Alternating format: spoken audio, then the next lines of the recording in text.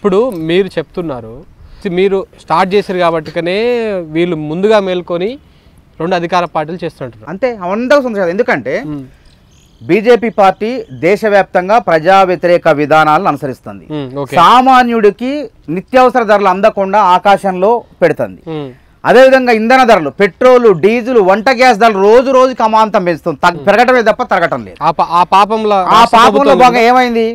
రైతులు దాదాపు పదకొండు నెలలుగా ఢిల్లీలో మూడు వ్యవసాయ చట్టాలను తీసుకొచ్చారు. ఆ వ్యవసాయ చట్టాల వల్ల ఏంటంటే అసలు రైతు అనేవాడు అస్తిత్వమే దెబ్బతింటది. రైతు రై- రైతు వ్యవస్థ కూడా కార్పొరేట్ శక్తుల జేబుల్లోకి చేతుల్లోకి వెళ్తది. ఇప్పుడు చిల్లర మల్లర వర్తక వ్యాపారంలో కార్పొరేట్ వ్యక్తులు ప్రవేశించడంతో మన వీధి వీధిలో ఉండేటువంటి సామాన్య చిల్లర వర్తకులు ఎంత ఇబ్బంది పడరు అదే విధంగా వ్యవసాయాన్ని కూడా కార్పొరేట్ శక్తులు అదాని అంబానీలు గుప్పెట్లో పెట్టుకునేందుకు రైతుకు పొలం మీద పంట మీద హక్కు లేకుండా కొత్త చట్టాల రూపకల్పన చేయించారు నరేంద్ర నరేంద్ర మోడీతో. ఆ కుట్రలో భాగంగానే పదకొండు నెలలుగా ఆ కుట్రలను తిప్పికొట్టేందుకు రైతులు ఢిల్లీ శివారులో ఎందుకు వానకు తడుస్తూ ఎండకు ఎండుతూ చలిలో వణుకుతూ ఇప్పటి వరకు ఆరు వందల మంది చనిపోయినరు.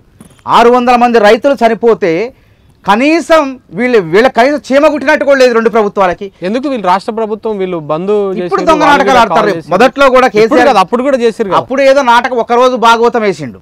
ఒక్క రోజు భాగవతం వేసి ర్యాలీలు ఇవన్నీ ఒక రోజు భాగవతం చేసి ఇదే మంత్రులు రోడ్ల మీదకి వచ్చి కాంగ్రెస్ పార్టీకి పోటా పోటీగా అంటే ప్రజల్లో కాంగ్రెస్ పార్టీకి ఆదరణ లభించొద్దని చెప్పి మేము కూడా అధికారంలో ఉంటాం మేమే ప్రతిపక్షంలో మీరే మేము ఆదరణ. పెరుగుతుంది అధికారంలో ఉన్నాడు కాంగ్రెస్ వాళ్ళు కాంగ్రెస్ వాళ్ళకే ఊహించుకుంటారు అధికారంలో ఉన్నోడు ఉద్యమం చేసినంటే ప్రతిపక్ష పార్టీ పాత్ర పెరిగింది ప్రతిపక్ష పార్టీకి ఆదరణ వస్తుంది. కొత్త నాయకత్వం వచ్చినా భయపడే కదా. ఇప్పుడు ఎందుకు ధర్నాలు చేయాల్సి వచ్చింది? ఏదన్నా మీ కొత్త నాయకత్వం ప్రభావం ఎక్కడ కనపడింది? ఎందుకు కనపట్లే హుజురాబాద్ ఏమైంది? హుజు- హుజురాబాద్ గురించి ఒక ఉదాహరణ చెప్తా. మీరు మీరు. రైతుల ఏమైంది? హుజూరాబాద్లో ఏమైంది? ఏమైంది? సిద్దిపేటలో ఏమైందో అక్కడ కూడా అక్క- అక్కడ కూడా అట్లే అయింది. సిద్దిపేటలో ఏమైంది? చంద్రబాబు నాయుడు పార్టీలోంచి రాజీనామా చేసి కేసీఆర్ గారు రాజీనామా చేసి బయటకు వచ్చి ఉప ఎన్నికల్లో పోటీ చేసిండు పోటీ చేసినప్పుడు ఆ పోటీ ఎవరి మధ్య నడిచింది చంద్రబాబు నాయుడు వర్సెస్ కేసీఆర్ మధ్య నడిచింది. అక్కడ ప్రజలు అప్పుడు జరిగినటువంటి ఉప ఎన్నికల్లో ఎనభై రెండు వేల పైచిలకు ఓట్లు కట్టబెట్టి కేసీఆర్ కేసీఆర్ కేసీఆర్ని గెలిపించారు. మేరెడ్డి శ్రీనివాసరెడ్డి టీడీపీ అభ్యర్థి.